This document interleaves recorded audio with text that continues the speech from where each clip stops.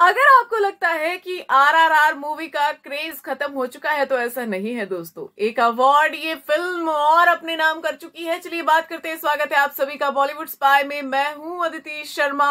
तो दोस्तों आरआरआर मूवी का एक गाना बहुत ही फ़ेमस है नाटो नाटो जी हाँ और जिसका स्टेप भी बहुत ही ज़्यादा फ़ेमस है, देखा जाए तो। मतलब जितनी भी प्रमोशन इस फ़िल्म की हुई है ना, वहाँ पर हमने जूनियर एनटीआर और रामचरण को ये स्टेप करते देखा ही है। यहाँ पर जहाँ जहाँ भी वो गए हैं इस फ़िल्म की प्रमोशन के लिए, वहाँ वहाँ पर ये स्टेप जो है बहुत ही ज़्यादा फ़ेमस हुआ है दोस्तों।